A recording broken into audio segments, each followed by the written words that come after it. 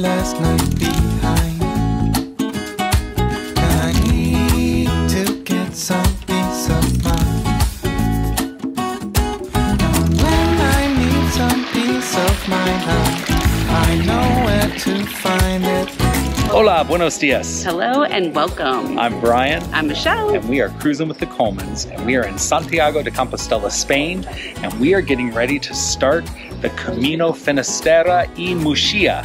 Yay! Okay, so let's say you walked to Santiago. Why would you wait? Who does that? And now what? What do you do next? you walk to Santiago, maybe the Camino Frances, maybe from any of the other Camino Portuguese, and you got here and you're like, I want to keep walking. Well, first of all, if you tour the cathedral, you'll walk a lot. But Tomorrow morning, we are going to start our walk to Muxia and then walking on to Finisterre, and we're going to let you go along with us. Tomorrow morning, we walk out, but first we have to start filling out our pilgrim credential. Now, if you walked the Camino Frances, you know all about collecting stamps. yeah. And Muxia So- and Finisterre have their own credential. So the credential we got from Terra Nova Pilgrim House. You can also get it here at the Pilgrim office. This is our credential, and we got our first stamp. It's different than the one you get on your Compostela. This one is the one, and you could get it while you're getting a Compostela and get the same one. Doesn't matter. The point is, we got our first stamp, which means we're gonna have to get to work soon. Good morning. It's time Oh to start gosh. walking. It's it's a little late for us because when you're in Santiago and all your friends are here, you stay up a little later. A little later. Maybe doing things like Queimada. That was tough. It was uh, it was fun. Let's just say there may have been some uh, Advil consumed this morning already. We got it's 52 degrees. It is um it's late July. It's uh the like the 17th of July. It's 52. If you are brand new and you have not watched us walk the Camino Frances, go back and check out those videos because we have had an epic summer. Our fifth Camino, yet our best Camino. Yeah. So much fun. And then we've also walked the Via Francigena. Have we walked this before though? Um, well, yes and no. Yeah. So we have walked to Finisterre, but we have not walked to Muxia. But the first two days of walking are the same route. So today we're heading to Negreira, which is 21.2 kilometers from the gate of the cathedral. it's hilly. So it's kind of like everyone's first day of a Camino. It's hilly, it's going to be hard, but it's going to be beautiful. All right, vamos. Let's go. By the end of the road. So I walk and I keep on walking.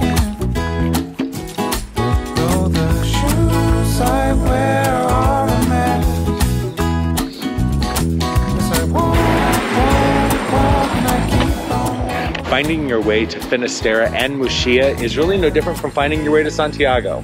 No, you got to find your way first out of town. And, uh, and honestly, the best thing to do is have the Wise Pilgrim app. We cannot say enough about it. There is a, a fee for this app, but it is a million times worth it. It has saved us on the Camino Portuguese. It's honestly saved us on the Camino Frances, and it's going to get us to Muxia without getting lost. It gets us out of cities all the time. Cause I can't keep my mind off things I'd be better off to leave behind. Gotta be careful not to get stuck. And so I walk and I keep on walking. Though the shoes I wear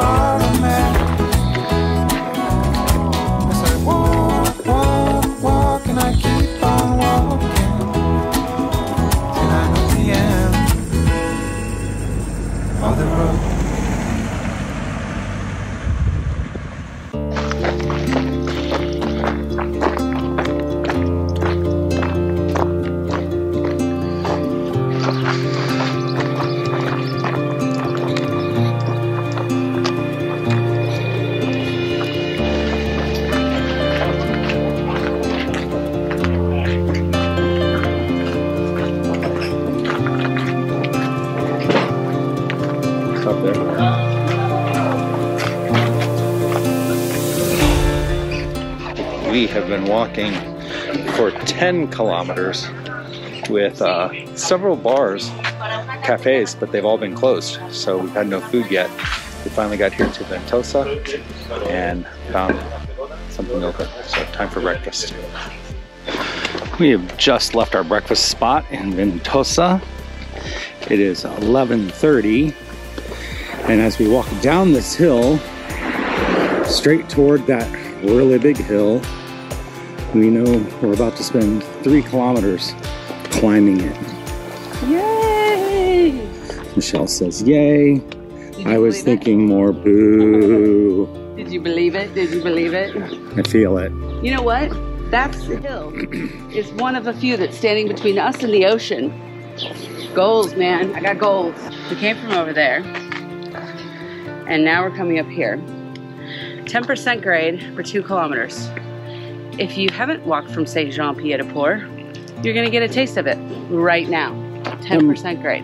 That might be intimidating to some. But for us, we did that day one. Right? Michelle just says, hold my hat. when you're walking uphill on a nice, smooth gravel road, and it suddenly turns into pavement or cobblestones, you know you're in big trouble. Meaning, the grade is gonna get so intense that you're. I can't even finish my sentence. I'd almost rather have stairs right now. It's intense. Last summer, if you watch our YouTube channel, we walked the Via Francigena. We walked from Switzerland to Rome. Last summer, summer of 2022, hottest summer we've ever hiked in. Plus 90 degrees, long stages. The Via Francigena is not for the faint of heart, but it is gorgeous. The food is amazing. Watch the videos. But one of our big jokes along the way Every time we saw a bench, we'd ask each other, Do you need a contemplation bench? Because sometimes when you're walking up these steep hills in Europe, you need to sit down and contemplate your life choices.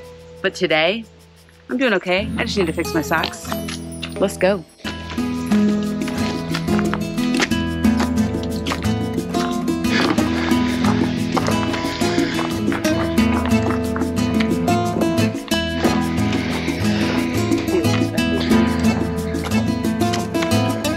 Is awesome. we have made it to the top of this hill. And it's amazing because people always say, How did the Camino change you? And here's one way. One way. Six weeks ago, five weeks ago, whenever we started, to climb 300 meters over two and a half kilometers, we would have stopped 20 times to catch our breath. I mean, that's a small portion portion of what we did on day one. And we were beat down. We were tired. We were exhausted. We had to stop all the time. We just, we nailed that. We just walked two and a half kilometers, climbed 300 meters, 10% grade. 10% grade, and didn't stop to take any rest breaks because we were out of breath or because we were exhausted or anything else. Here's the thing. The only stop we made was that one little segment, the contemplation bench segment, so Michelle could uh, Fix, my fix her socks. socks. She had a shoe malfunction. But it's not about a brag moment, but you know, like I have a mantra that comes up on my phone every day, and today it said, I'm stronger today than I was yesterday. It's just a feel good moment. It's so, it feels so amazing when you can do something better than what you had done previously. and we just got to take a moment to crow about it, kind of like him, if you could hear him in the background. It's a good day to have a good day. Everything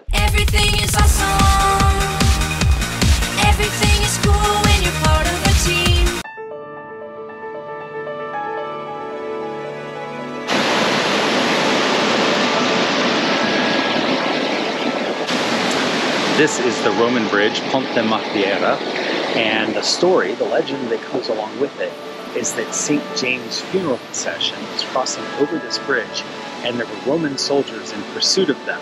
And as they crossed the bridge, God struck down the center of the bridge with a lightning bolt, keeping the uh, St. James's body and his group on one side, and the Roman soldiers on the other, and protected them. It was one of his uh, early miracles uh, after his martyrdom.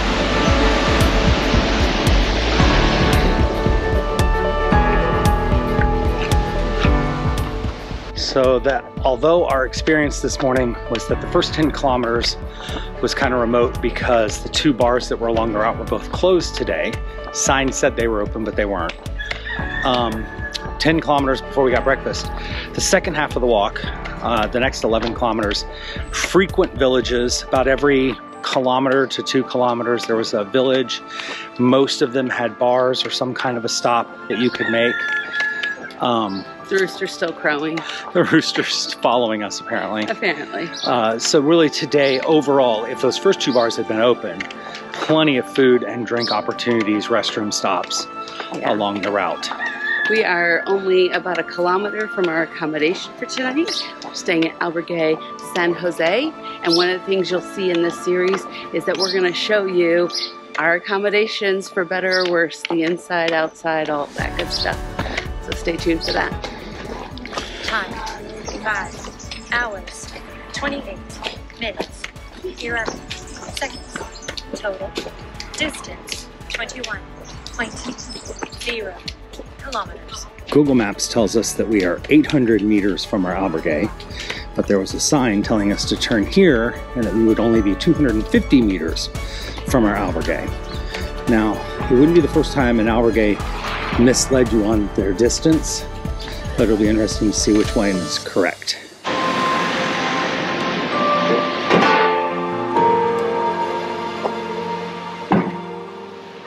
Here in Albergue San Jose, we are on the fifth floor, which of course you might already realize means we're on the sixth floor. Fortunately, we have a lift, thank goodness. Come in this little doorway, and we have a private apartment today. So, Um, this is an albergue and an apart. They have apartments, so they have um, bunk rooms in the albergue. They have um, private rooms with shared bathrooms in the albergue. The private room with a shared bathroom is 35 euro.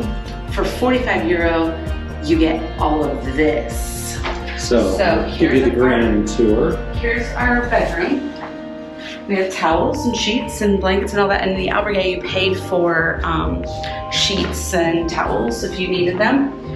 Uh, the bathroom's kind of small, but the showers are Decent closed. shower. Yeah, it's a decent sized shower. It's the bathroom overall, which is fine by me. Uh, this behind you is um, a little balcony.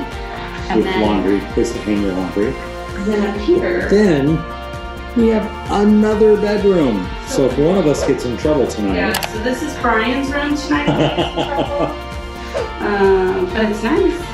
And, and a living room this. and a kitchenette. If we if we cooked on the Camino, which you know we don't, That's not going to happen. we would be great. Um, but look at this. This is great. Walk your step, please. A little terrace out here with a view of I will Negreira. tell you, for 45 euro, we have never had this much space on the Camino. But I think that's part of the Camino Finisterre. Besides being in Muxia and in Finisterre, those are places that are going to cost more. But along the way, it's much less expensive because there's fewer pilgrims and fewer accommodations. So, and you don't need reservations. There were plenty. She didn't even know what we wanted today. So, plenty of space. Hola, buenos dias. Hello and good morning. It is day two after leaving Santiago de Compostela on the way to Finisterre or Muxia. We don't know where we're going. We, we know where we're going. Oh, But so far, the route is the same, no matter which place you're going to. We are leaving the village of Negreira on the way to the village of Olveiroa. Nope. But we're not stopping at Noverioa.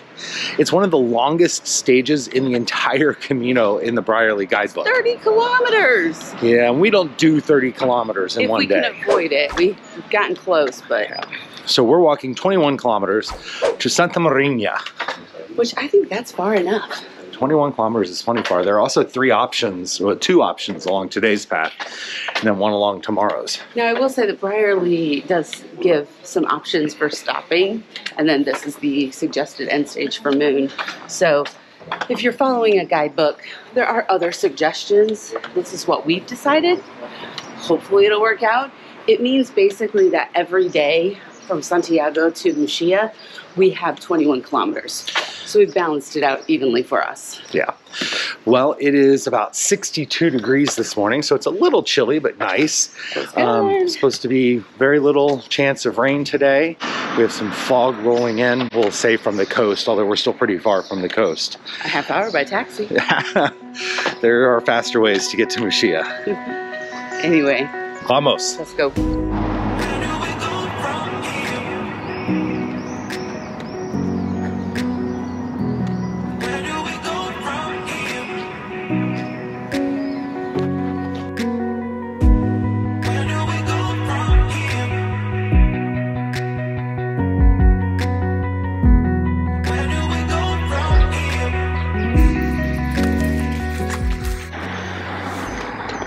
Do you feel about climbing hills? I like hills. Oh, good, because we got a really big one coming up. Yay! Yay! We have decided for this Camino to carry day packs and to ship one suitcase ahead every day from lodging to lodging. It's the first time in five Caminos that we have decided to do that. And let me tell you, wow. Game changer. we are so much more pleasant with each other. For one, at the end of the day, we just feel better, which is a miracle. The only disadvantage is having to lug that suitcase up a flight or two of stairs every night. But it's way better than lugging that heavy backpack up and over all these mountains we have every day. Yeah, it has not. Um, the luggage service has been great. It's been there most of the time before we get there. Sometimes we have to wait a half hour to an hour if we're there early. But I think the latest it's ever shown up is 3 p.m. There are multiple companies that take care of luggage service, and in most of the albergues, you'll see their tags, and there's a little envelope. You fill out where you're going.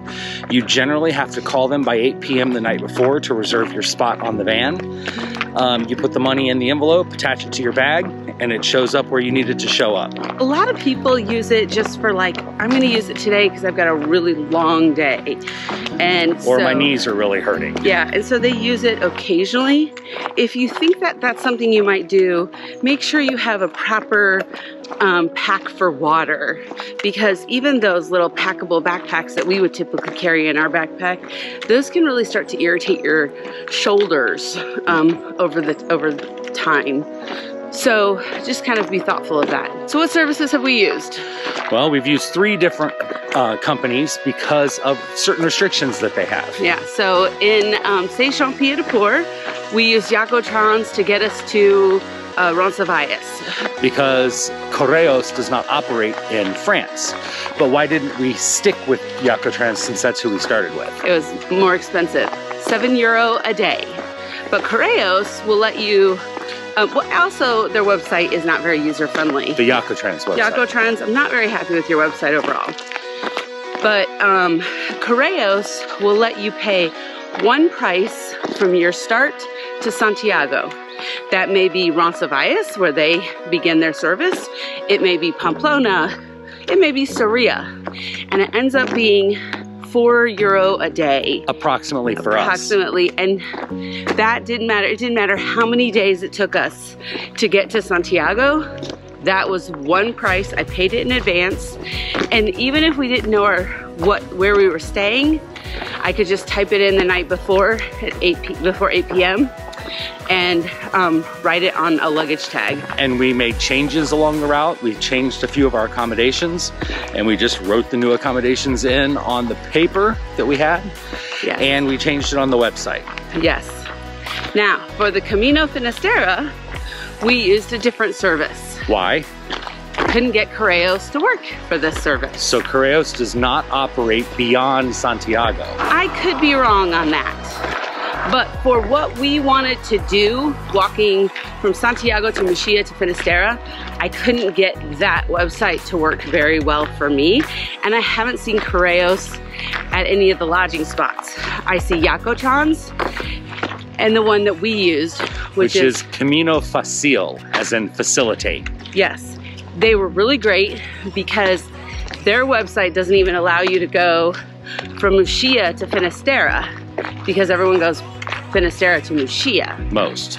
And, well, at least, yeah, enough that it's not on their website. All I did was I filled out the first four stages to get to Muxia, and then I sent them an email and said, hey, I don't see this.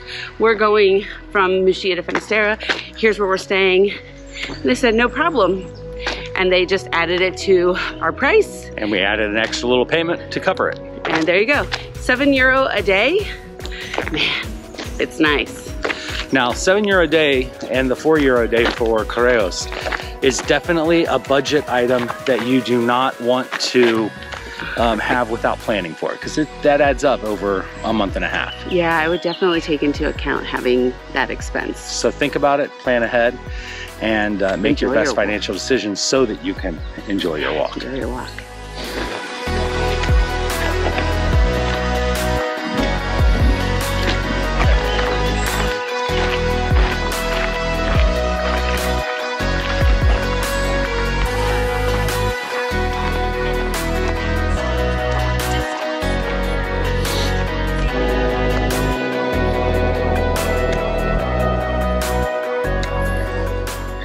Camino pro tip whenever you're walking on the road, always do it walking into traffic, unless you're on a blind corner and it's not safe.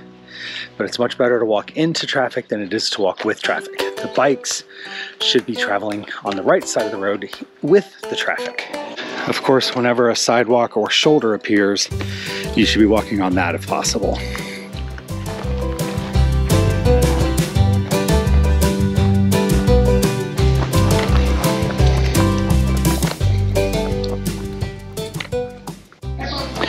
We have arrived. Casa Pepa is right there. That's the bar restaurant. And here's the Albergate. It's kind of attached to the church, which is interesting. And our room is right here around the corner. Okay, Brian, you need to go back and get the luggage, please. Oh, okay. I'll take care of this. Buen descanso, eh? Go with her. All right, Brian's got to head back and get the luggage. So I'm gonna show you the room. Pretty simple. Two beds. We've done some airflow. Oh, I think that might be the biggest, smallest TV we've had. In other words, we've not had one single big TV. That's all right. We never use it. All right. Let's see. What do we got next? In here. Pretty basic. At least the water will stay in there. It's a nice size. Look at all that camera space. Alright, that's it. And outside, it's corn, corn, corn. So we gotta shut the door, door, door. Because flies like to hang out in the corn.